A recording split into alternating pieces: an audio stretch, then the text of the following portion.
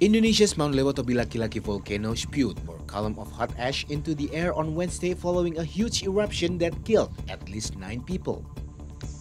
With volcanic activity increasing in recent days, several international airlines have cancelled flights to and from Indonesia's tourist island of Bali on Wednesday as the ongoing eruption left travelers stranded at airports.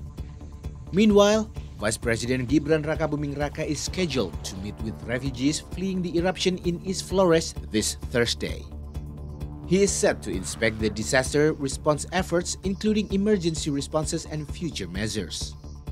Kemarin kita melakukan Zoom meeting dengan Pak Wapres, dengan Pak Menko PMK, dengan Pak Menteri Dalam Negeri, dengan Pak Menteri Sosial, Pak Menteri PUPR, Bu Menteri Keuangan, kepala BNPB dan lain-lain. Saya tidak hafal yang di sana karena rapatnya di sini yang ditampilkan hanya Pak Menko PMK dan Pak eh, Pak Pres. Kemudian dari kita dihadir PJ Gubernur NTT Bupati Flores Timur Bupati Sika Kapolda NTT dan dan NTT membahas terkait dengan langkah tindak lanjut penanggulangan erupsi Lutubi